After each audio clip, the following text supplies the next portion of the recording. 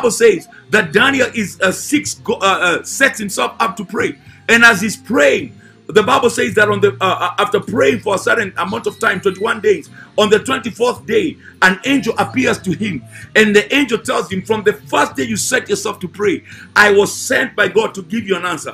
But the prince of Persia, the principality, the ruler, demonic ruler over the, the region of Persia, he withstood me and we stood me for 21 days until I had to call for help. Michael, the archangel, to come and deal with that principality. And ladies and gentlemen, we are principalities and powers. When we see politicians fighting and arguing and and and confusion in the pre, in the political realm, it is not about the leaders. It's a principality. It is a spirit that needs to be confronted in the realm of the spirit, and you need to rise up in prayer and begin to take authority against those uh, spirits and principalities. Uh, when you see coronavirus, uh, it's, it's a disease, it's a demonic spirit from the pit of hell, and we need to engage and take authority in the in the mighty name of Jesus. Now, Jesus told us in the book of John, chapter 14. John chapter 14, going from verse 12, going down. The Bible says, Verily, verily, I say unto you, that he that believeth on me, the works that I do, he shall also do, and greater works than these shall he do, because I go to my Father. Ladies and gentlemen, Jesus, he told us through his word that he will do through us greater works than he even did. The church is not supposed to be a little club where people gather just to have a, to feel good and to have a wonderful time, singing wonderful songs and, and dancing around.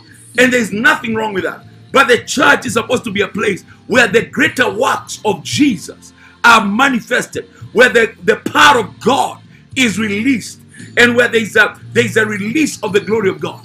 And the church then should then arise and go to the world, go to the nations, and show and manifest the power of God. That is the will of God. And then he continued to say, And whatsoever you shall ask in my name, that will I do, that the Father may be glorified. And then verse 14 says, If you ask anything in my name, I will do it. And if you love me, keep my commandments. And I will pray that the Father, and he will give you another comforter, another paracletos, that he may abide with you. Even the Spirit of truth, whom the world cannot receive, because it sees him not, neither knoweth him, but you know him, for he will dwell with you, and he shall be in you. Jesus was giving us a promise, and he was saying, You shall do greater works than I did. You shall do greater things. And that is where the church of Jesus Christ, that is the kind of prayer we need to be praying. Oh God, release glory, release power. Lord, the greater works that you talked about, we want to see them in our time and in our generation. That is a prayer we should be praying. The Bible says in the book of Acts, chapter 1 and verse 8, Jesus told the disciples, He said, You shall receive power. After that, the Holy Ghost is come upon you, and you shall be witnesses unto me in Jerusalem, in Judea, in Samaria, and in the uttermost parts of the earth. And ladies and gentlemen, we have the responsibility of being witnesses of the power of God, testifying of what God is able to do. And Jesus said, Greater works than this. We, we, we have settled for, for just being, you know, nice Christian people. That is not what God intends for in this day. He is intending that he, he may move in a greater way. And I was sharing with the church on Sunday that myself and in, I'm in Acts 4:33 in this hour of, of fasting and prayer. That is where I am. The Bible says in the book of Acts uh, uh, 4, uh, 4:33 that with great power the apostles gave witness to the resurrection, to the uh, to the resurrection of our Lord Jesus with great power. And grace, grace was upon all of them. And ladies and gentlemen, with great power, we need to see and to, to manifest the, the, the glory of God. And a church that settles down to just enough is not what God had in mind. We are supposed to see uh, nations shifting. We are supposed to see the healed being sick, uh, uh, the sick being healed. Excuse me. Oh God, I know the healed being sick, but the sick being healed. We are supposed to see the, the pouring of the glory of God more than ever before. And ladies and gentlemen, Jesus said, I will send the Spirit. He's a spirit of supplication and he's a spirit of power.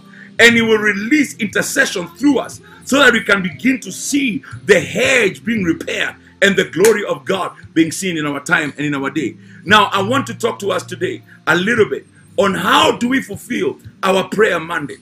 How do we fulfill our prayer mandate? Number one, through intercession. it first of all, number one, I involves identification. The first thing we have to do is that we have to identify.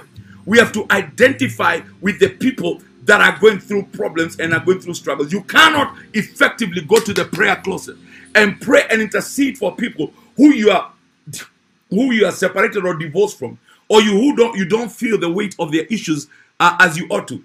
As our high priest and intercessor, Christ has identified with us by taking upon himself. He took upon himself the form of, of flesh and blood, and he left the glories of heaven and the glories of his Father, and he became one of us. He became one of us. Why? So that he can identify with our pain. He can identify with our situations. The Bible says, For we have not a high priest which cannot be uh, touched with the feelings of our infirmities, but was at all points tempted as we are, yet without sin. He was at all points tempted as we are, yet without sin. And ladies and gentlemen, the reason why he is a faithful, massive high priest is because he feels our infirmities. And therefore, he is qualified to intercede on our behalf. Ladies and gentlemen, as uh, we stand in the place of intercession, we must be willing to identify with those of whom we are interceding for. We must be willing to carry their burden and identify with them. Take our their burdens upon ourselves. Be willing to feel their pain and their sorrow, so that as we we can present their needs before God as our own. It is not just enough to say, "Oh God, save my brother." "Oh God, save my sister." "Oh God, save the world." As an intercessor is standing in the gap, you must identify. You must be willing to carry their burden as if you're the one who is going through what they're going through. You see, our sometimes the way we pray for people, it lacks the passion of identification. It lacks the passion of identification. We are just praying nicely, oh God, the youth need you, but we need to be able to come to the shoes of the young people, feel their pain, feel their desperation. And some of us, the reason why God has allowed us to go through some of the issues that we're going through is so that we can know how it feels to go through some stuff. You, uh, some of you have had a season where you're lacking, you don't have food on the table. And, and, and the thing about it is, it's not that God has withheld it because he, he wants you necessarily to suffer, but it's so that you can be able to feel the pain sometimes of people who, when they're going through what it is that they're going through, and be able to identify with them. And sometimes we are so divorced, we are so far removed from the problems of the people. We need to ask God, God, touch me with the things that touch you. Help me carry the burden of my generation. Lord, help me be able to identify with those young people who are burning their schools. Help me be able to come to that place like Jesus did and be able to identify and feel their pain so that as I come and groan and moan and travail before you, I am not divorced. I am not far away from their pain and from their situation. I have I have seen that the, the greatest effective way to pray for somebody is to be able to come down to their level and really identify with what it is that they're going through. You need to do that. It's, it's, it's one of the most powerful things you can ever do to, to come out of your high horse of judging and, and feeling like, you know, I know better than them and really just come down to their level and be able to pray and to stand in the gap for them. I promise you, you'll be so effective because the, the way to intercede, number one, is to identify, feel their pain, be, be willing to feel your pain. What has happened today is that the church has separated itself and isolated itself from the lost. We are so far removed from their needs. We are so far removed from, from, from their needs